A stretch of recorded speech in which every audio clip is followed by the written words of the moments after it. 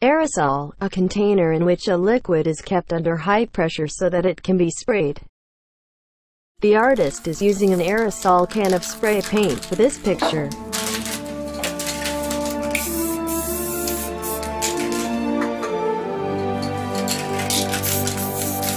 Here is the finished picture.